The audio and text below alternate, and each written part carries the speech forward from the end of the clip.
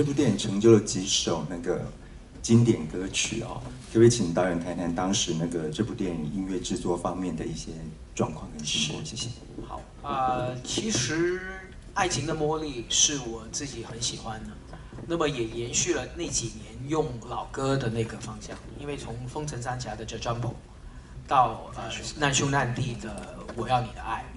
到《爱情的魔力》，这几个都是那个年代的，从呃叶枫、呃姚敏等等的歌。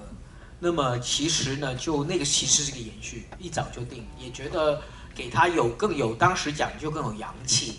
就是那种老歌。那么也是意大利歌，也是完全讲爱情的感觉。那么但是呢，反而值得去提一下，就是一追再追那个追那首歌。那个歌是一个很奇怪的一个事情，就是我是没感觉的。我第一次听的时候，我是没感觉，是许愿公司里面的一首歌，是 Dick Lee 当时写给林忆莲的，而结果没用了，就放在那儿一首歌，歌词都写了。那么许愿就说你不如，因为许愿有帮我一起谈剧本这个戏，他就给我这个歌说，不如拿这个作为你的主题曲。那其实我就觉得好吧，Dick Lee 的那大家都说好听，我说就就用这个吧。但其实我都没听进去，因为我对新歌是非常没感觉的。就我觉得所有新歌都是 pop song，而且我对广东流行曲是非常不喜欢的一项，所以我很不喜欢在戏里面放流行曲。那么，但是也知道这个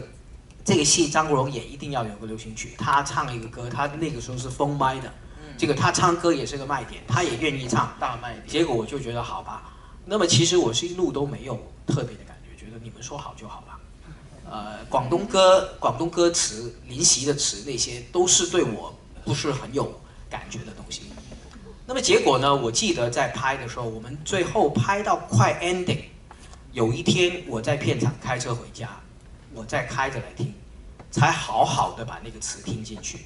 我当时已经戏快拍完了，我就在开车的时候，我就开始越听越感动，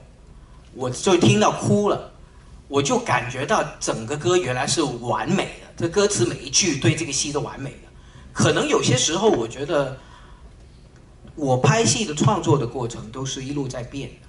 那么可能很多时候你没去到最后一天，没去到拍完呢，整个戏的形都还没定下来，主题都可能不是很清晰。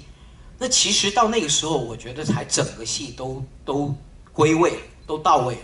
那所以很奇怪一个东西，就是说不是说第一不是为这个戏做的这个歌，呃，而结结果那么对，呃，最奇怪的是拍的导演是完全到最后一天才知道原来是对的。好，来，还有没有人有问题？